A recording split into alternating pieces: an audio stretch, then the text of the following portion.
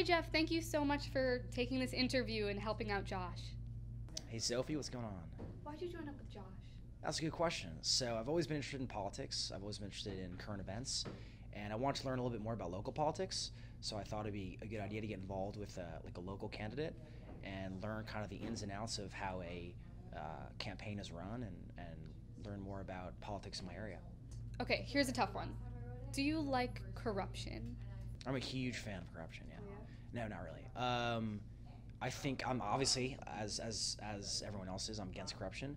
Um, I think Josh. Uh, that's his entire platform. He's he's anti-corruption. He's a political outsider, um, and he's going to challenge the uh, kind of corrupt insiders that currently run our local government.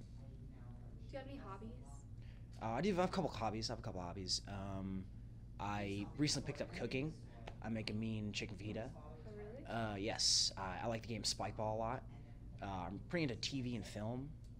If you were president, who would you fire? I'd have to go with Scott Pruitt.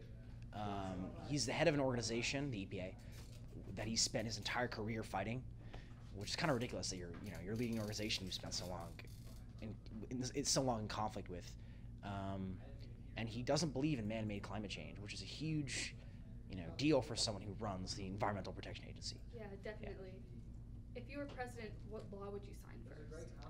Um, I'd have to go with uh, the assault weapon ban. Uh, it was in place in the 90s, and there were significantly less mass shootings during that, that decade. Um, and so I thought it, I think it's a pretty successful ban, and that's what I would probably put in place. And if you were president, which foreign leader would you want to meet? I'd have to go with Justin Trudeau. I think, yeah, it's cool dude. I think that we align, like, like we're like-minded people. We align politically, and just seems like a really genuine guy. If the public were to use one word to describe your presidency, what would you want it to be? Uh, probably handsome. I think I'm. I've got to be in the top three best-looking presidents of all time. Yeah, what about John F. Kennedy? Yeah, I'd say Kennedy probably beats me. Maybe Barack, but Okay. I, I gotta be number three. I gotta be. What do you want to be when you grow up? Uh, I don't really know. I'm, I'm still figuring that out. Um, I'd like to go to law school and maybe see where that takes me afterwards. If, if the path takes me towards like a, a career in politics, then that'd be that'd be cool. Was there a turning point that made you want to go into that field?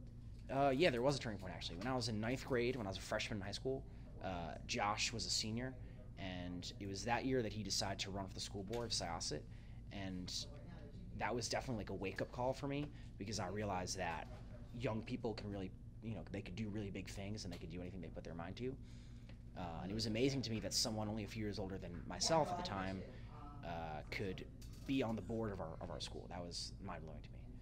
Okay, finally, how awesome is Josh?